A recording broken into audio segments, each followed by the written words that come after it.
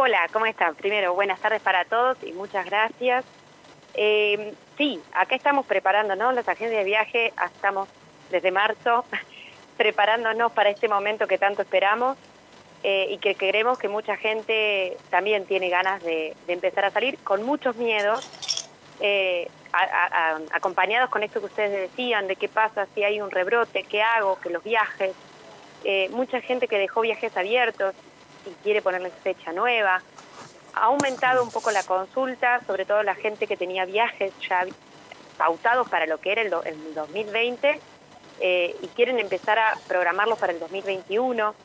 Eh, y gente que por ahí se está animando a pensar en, bueno, ¿qué hago en enero y febrero? Cosa que antes no nos pasaba porque en las agencias de viaje lo que era enero y febrero lo vendíamos mucho, mucho tiempo antes, no lo vendíamos en esta época del año. Se vendía con mucha anticipación. Y ahora, bueno, estamos sobre la marcha eh, con todas las noticias de reactivación, con las noticias de apertura. La provincia de Neuquén, eh, por ejemplo, a partir del primero de diciembre.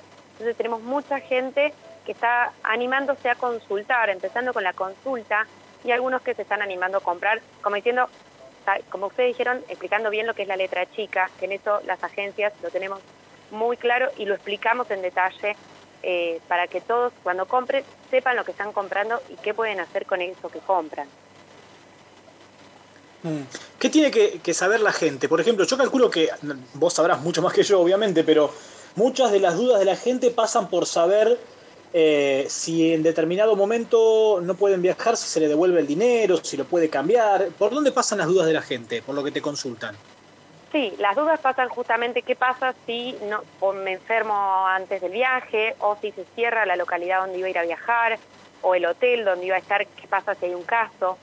Esas son las dudas eh, lo que nosotros explicamos varía según cada opción, según si es un vuelo, si es un hotel, si es una excursión, es diferente la política, pero el común para todas es que se pueden dejar abiertos todos los viajes y se pueden usar, tienen un plazo, normalmente es todo el año 2021, eh, se puede usar lo, lo mismo que habían programado para otra fecha del 2021.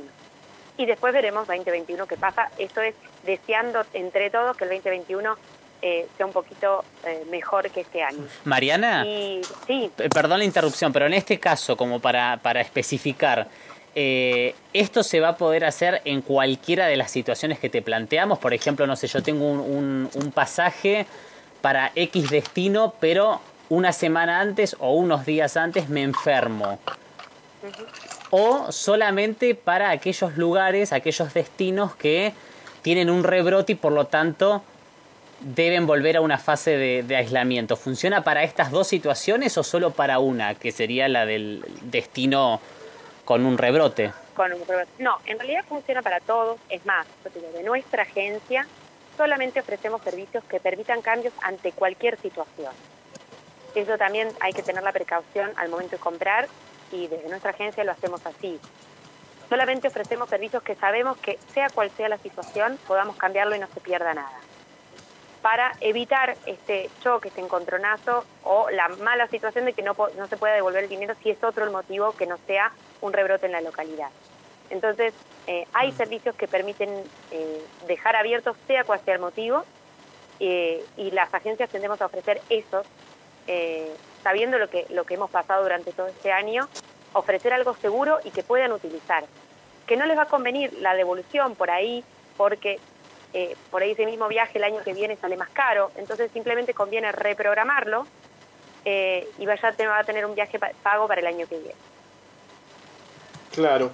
Eh, ¿Qué es lo que más está, está saliendo, lo que más está consultando la gente? ¿Qué busca? ¿Destinos de cercanía?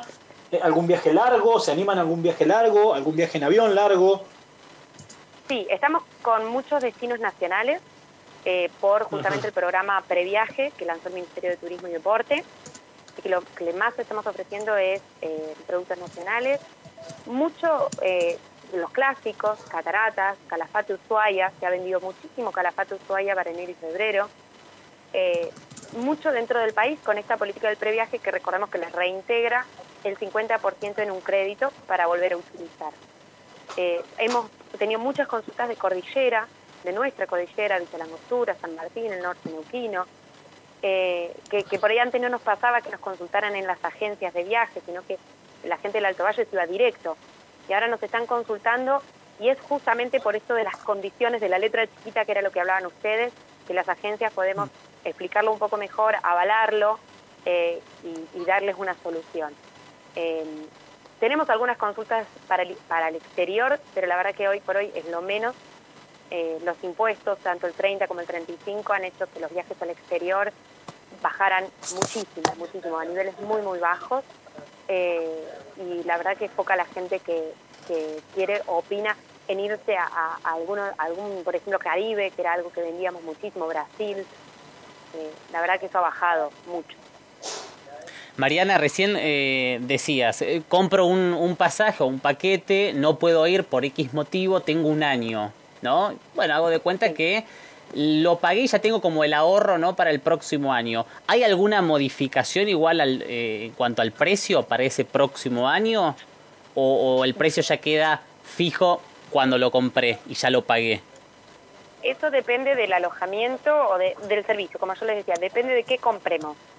Hay hoteles que te respetan el valor durante todo el año, hay otros hoteles que te dicen, bueno, esta tarifa es válida hasta junio y cualquier cosa vemos, revemos más cerca de la fecha. Eh, cada hotel tiene su condición porque justamente por una cuestión de inflación este, nos, nos pone cada hotel un, una, una información distinta. Por eso nosotros lo comentamos en cada caso, pero todos permiten dejarlo abierto, algunos con fechas más restrictivas que otras. Por ejemplo, si uno compró para viajar en marzo, abril, mayo, que es lo que nosotros consideramos temporada baja, si uno lo cambia para lo que es temporada alta, va a haber una diferencia de precio. Pero si uno lo cambia para la misma temporada, no hay diferencia de precio. Lo mismo pasa con los pasajes de avión en todo el país, los cabotajes eh, están con una promoción hace meses que tienen un cambio gratis sin multi sin diferencia de precio.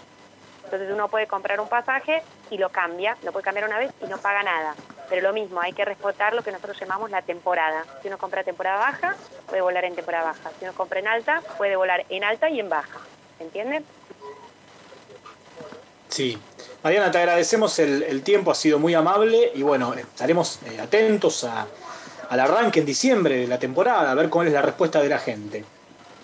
Sí, muchas gracias y déjame decirles que estamos las agencias armando paquetes para el eclipse, que es algo que tenemos muy próximos, el 14 de diciembre, y si todo sigue bien vamos a poder ir a verlo a los puntos estratégicos, así que, que, se acerquen a las agencias, que tenemos opciones para ofrecerles para que podamos ir a disfrutar de ese día, de ese fenómeno natural tan único.